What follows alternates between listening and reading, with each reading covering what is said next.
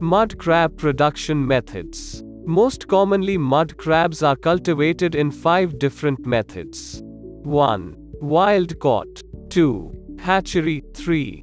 Grow out, 4. Soft shell crab, 5. Crab fattening, 1. Wild caught. Wild caught is the major supply for mud crabs in many parts of the world. Most commonly, it is noticeable in the countries like Malaysia, Indonesia, Bangladesh, Sri Lanka, and India.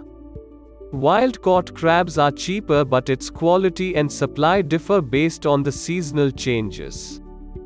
Big crabs are available only in limited amount. Crabs above 500 grams are available only in lesser quantity.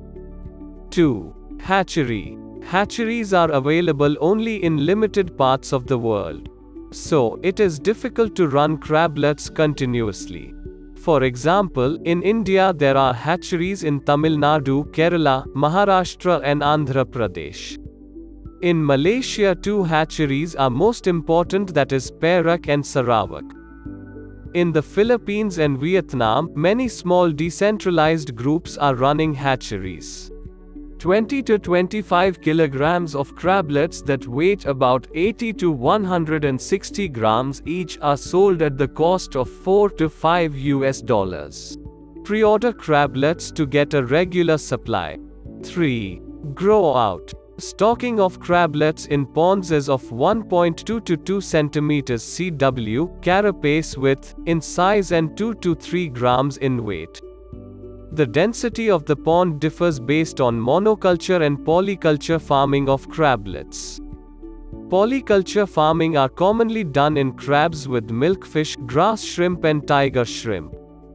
There is also a risk in growing crablets with shrimps as the diseases can easily spread between the species and affect them. In this, it is possible to grow female crabs with eggs and male crabs up to the weight of 500 grams. Mangrove pen. Not only ponds but also the pens are used for crab cultivation. Pens are the barricaded area used to grow the crablets. Without changing the nature of mangrove forest, the barricaded area is created using nets for farming. 5000 to 10,000 crablets per hectare of 1 cm CW can be stocked and grown in this pen. Crablets more than 2 cm CW are released to main pens. In mangrove pens, the crabs get nature shelter in the dense forest. It can also store their food apart from the feeds. Current methods used in mud crab farming. Three methods are commonly used to grow mud crabs. 1. Pond farming. 2. Mangrove pen. 3. Wooden nursery within mangrove pen. 1. Pond farming. The traditional method of growing crabs in simple mud ponds. 2. Mangrove pen. Growing crablets in mangrove pen with bamboo and net fence. 3. Wooden nursery within mangrove pen. The wooden nursery is used in pens to nurse and grow the crablets which are too small. Use fine nets to build the fence otherwise the crablets escape piercing the fence.